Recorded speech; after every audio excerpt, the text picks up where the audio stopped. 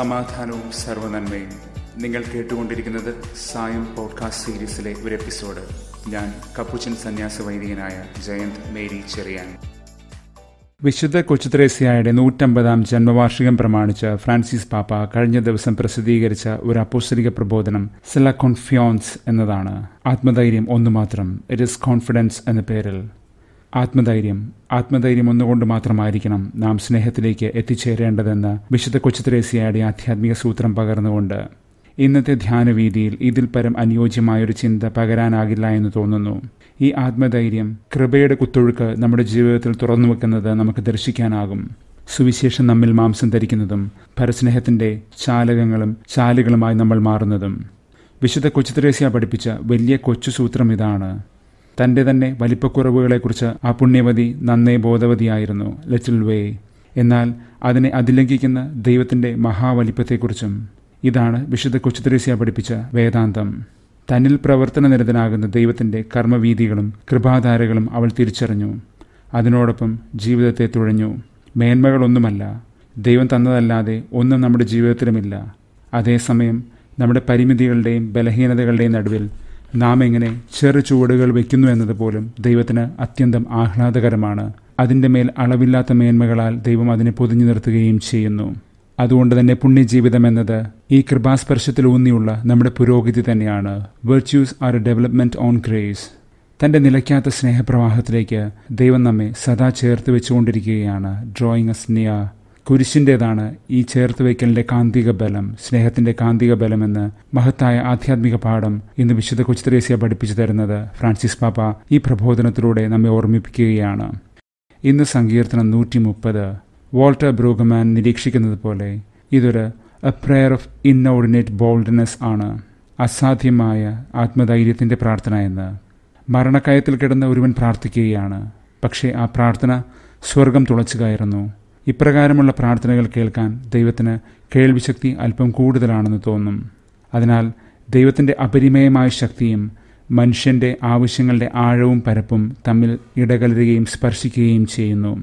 പുറപ്പാട് രണ്ട് ഇരുപത്തിമൂന്ന് മുതൽ ഇരുപത്തഞ്ച് വരെ തന്റെ ജനത്തിന്റെ കരച്ചിൽ ദൈവത്തിന്റെ ചെവി തുളച്ച് കയറിയില്ലേ? അവിടെയാണ് ആ ജനതയുടെ വിശ്വാസത്തിന്റെ ജൈത്രയാത്ര ആരംഭിക്കുന്നത്. ഇന്നും നമ്മൾ യാത്രകളെ കാണും ഇന്നലെയും കണ്ടിരുന്നു. ഇന്ന് സങ്കീർത്തനത്തിൽ ദൈവത്തോട് നിലവിളിച്ചപേക്ഷിക്കുന്ന ഈ മനുഷ്യൻ ദൈവമെന്ന ഉഗ്രപ്രതാപിയായ രാജാവിന്റെ സന്നിധിയിലേക്ക് കണ്ണുകൾ ഉയർത്താൻ യോഗ്യതയുള്ളവനോ രാജാവിന്റെ മുൻപിൽ മുഖം കാണിക്കാനുള്ള സൗന്ദര്യമോ എന്തിനേറെ നല്ല വസ്ത്രങ്ങൾ പോലും ഇല്ലാത്തവനാണ് ഒരു ഭിക്ഷക്കാരൻ. ചേലും ചേലയുമില്ലാത്തവൻ എന്നിട്ടും അവൻ രാജാവിനെ വിളിച്ചപേക്ഷിക്കാൻ ധൈര്യപ്പെടുന്നു. കഴിഞ്ഞ ഞായറാഴ്ച നാം ധ്യാനിച്ച രാജവിരുന്നിന്റെ ഉപമ ഇതിനോട് ചേർത്ത് വായിക്കേണ്ടതാണ്.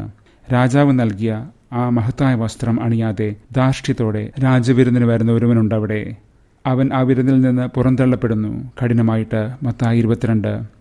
ദൈവത്തെ കൂടാതെ ദൈവദാനം സ്വീകരിക്കാതെ മാനുഷിക പ്രയത്നം ഒന്നുകൊണ്ട് മാത്രം ആധ്യാത്മപൂർണത നേടാം എന്ന വികലമായ ചിന്താഗതിയാണിത്. A Pelagian view of holiness ഇവിടെയാണ് ഈ നല്ല വസ്ത്രം പോലുമില്ലാത്ത ഈ ഭിക്ഷക്കാരൻ പരമദരിദ്രൻ ഒന്നുമില്ലാത്തവൻ ഒന്നുമല്ലാത്തവൻ ദൈവമെന്ന രാജാവിനെ വിളിച്ചപേക്ഷിക്കുന്നത്.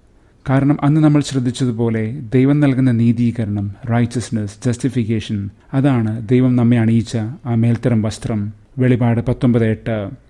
ഹെബ്രായർ നാല് പതിനാറ് പറയുന്നത് പോലെ നമുക്ക് ധൈര്യത്തോടെ പരഹേസ്യ കൃപയുടെ സിംഹാസനത്തെ സമീപിക്കാനാകണമെന്ന്.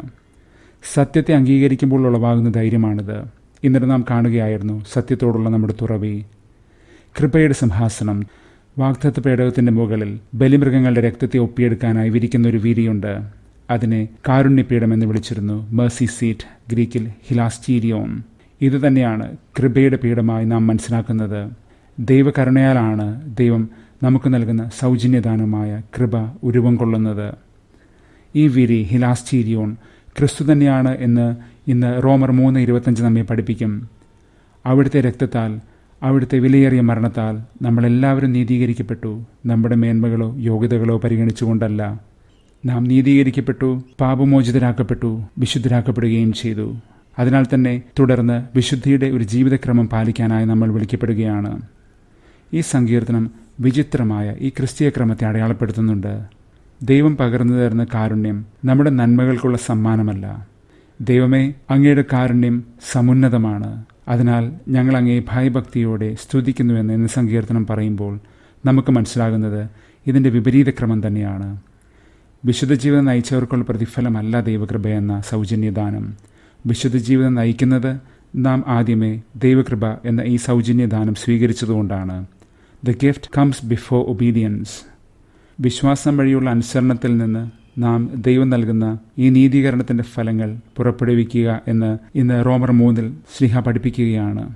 നമ്മുടെ ജീവിതങ്ങൾ ഒരു വേള മലിനങ്ങളായിരുന്നു. അതുമല്ലെങ്കിൽ സ്വയം നീതീകരിക്കുന്ന അപകടാവസ്ഥയിലായിരുന്നു സെൽഫ് റൈച്ചസ്നെസ് എന്നാൽ ദൈവം രണ്ടും പരിഗണിക്കാതെ നമ്മെ ആദ്യമേ നീതീകരിച്ചു. അതായത് നമ്മൾ ഇടറിയ വഴികളിൽ നിന്ന് അവിടുന്ന് നമ്മെ തിരിച്ചു കൊണ്ടുവന്നു നേരെയാക്കി തന്നോട് ചേർത്ത് വെച്ചു കണക്കുകൾ തീർത്തു made us right with him നീതീകരണം പാപമോചനത്തിലേക്ക് നയിക്കുന്നു. ഈ പാപമോചനമാകട്ടെ വിശുദ്ധീകരണത്തിലേക്കും. അങ്ങനെ വിശുദ്ധമായ ജീവിതം നയിക്കാൻ നമ്മൾ വിളിക്കപ്പെടുകയാണ്. ഈ വിശുദ്ധീകരണം എന്നത് വിശ്വാസത്തിന്റെ പ്രവൃത്തി പദത്തിൽ വിടരുന്നൊരു പ്രക്രിയയാണ്. ദൈവിക സത്യങ്ങളിലൂന്നി നമ്മൾ സഹോദര സ്നേഹത്തിൽ മുന്നേറുന്ന വഴിയാണത്. ഈ നീതീകരണം എന്നത് ദൈവം നമുക്ക് നൽകിയത് വിശ്വാസത്തിന്റെ കൂതാശിയായ ജ്ഞാനസ്നാനത്തിലൂടെയാണ്. അവിടുന്ന് തന്നെ തന്നെ നമുക്ക് പകർന്നു നൽകിയ ദൈവാവിഷ്കാരത്തിന്റെ വഴികളിൽ ഡിവൈൻ റെവലേഷൻ നാം അവിടത്തോട് കൈചേർത്ത് പിടിക്കുന്നതിനെയാണ് വിശ്വാസം എന്ന് വിളിക്കുന്നത്. ഇന്നലെ നാം കണ്ട സ്വാഭാവിക ജ്ഞാനം നാച്ചുറൽ റീസൺ ഇതിൽ നിന്ന് വ്യത്യസ്തമാണ്. പക്ഷേ രണ്ടും പരസ്പര പൂരകങ്ങളാണ്. വിശ്വാസവും യുക്തിയും ഫിദേസെത്രാസിയോ രണ്ടും നമ്മെ ദൈവത്തിലേക്ക് എത്തിക്കുന്നു. അത് ദൈവോചിതമായി ഉപയോഗിക്കുമ്പോൾ അതുകൊണ്ട് തന്നെയാണ് നമ്മുടെ വഴികളെക്കുറിച്ച് ഇവിടെ പരാമർശിക്കുന്നത് വിശ്വാസ വഴികൾ ചിന്തയുടെ വഴികൾ ഇന്നലെ നാം കാണുകയായിരുന്നല്ലോ. ലൂക്കായുടെ സുവിശേഷത്തെ ധ്യാനിക്കുമ്പോൾ. ലൂക്ക തന്റെ സുവിശേഷം എഴുതിയത് തന്നെ ഒരു വഴിയാത്രയുടെ വിവരണമായിട്ടാണ്. ക്രിസ്തീയതയെ ലൂക്ക വിളിക്കുന്നതും വഴിയെന്ന് തന്നെയാണ്. അപ്പോസ്റ്റലന്മാരുടെ പ്രവൃത്തികൾ എന്ന ഗ്രന്ഥം. പ്രാക്സിസ് അതായത് വിശ്വാസത്തിന്റെയും സ്നേഹത്തിന്റെയും പ്രവൃത്തികൾ അതാണ് ആ ഗ്രന്ഥത്തിന്റെ വിവരണം. അതുകൊണ്ട് തന്നെ ഇന്ന് നമ്മുടെ അപ്പോസ്തരിക ദൗത്യത്തിന്റെ വഴിയിൽ നേരിടേണ്ടി വരുന്ന പ്രതിബന്ധങ്ങളെ കൂടി സുവിശേഷം അടയാളപ്പെടുത്തുന്നുണ്ട്. നമ്മൾ തിരസ്കരിക്കപ്പെടുമെന്ന്. ആചാരനിഷ്ഠകൾ കൊണ്ടോ സാമ്പ്രദായിക പ്രവൃത്തികൾ കൊണ്ടോ അല്ല വർക്ക്സ് ഓഫ് ലോ മനുഷ്യൻ നീതീകരിക്കപ്പെടുന്നതും വിശുദ്ധീകരിക്കപ്പെടുന്നതും. സ്നേഹം നിയമത്തെ പൂർത്തീകരിക്കുന്നതാണ്. ഗലാത്തിർ അഞ്ച് പതിനാല് മത്തായി ഇരുപത്തിരണ്ട് നാൽപ്പത് നിയമത്തെയും പ്രവാചകന്മാരെയും. ക്രിസ്തുവാകട്ടെ നിയമത്തെയും പ്രവാചകന്മാരെയും പൂർത്തിയാക്കാൻ വന്നു അതിനെ റദ്ദാക്കാനല്ല. മത്തായി അഞ്ച് പതിനേഴ്.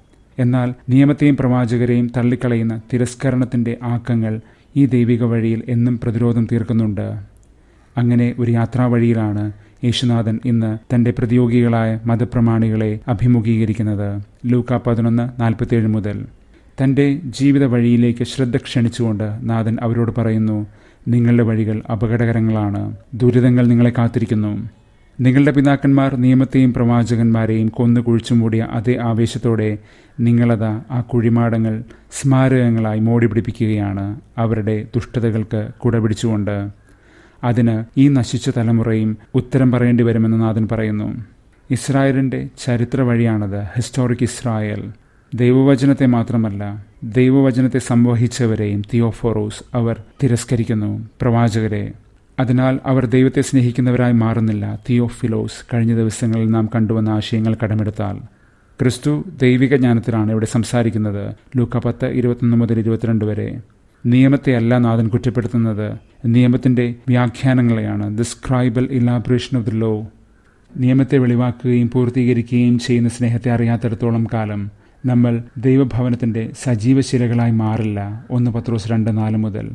പകരം വചനത്തെ കുഴിച്ചു മൂടുന്ന കല്ലറകളായി മാറും.